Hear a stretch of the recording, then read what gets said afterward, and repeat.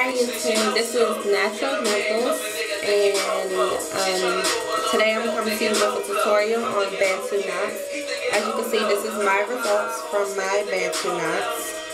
Um, when I took them off they were a little bit wet but I think they're still pretty. So yeah, if you stay tuned you will see a video of me doing this.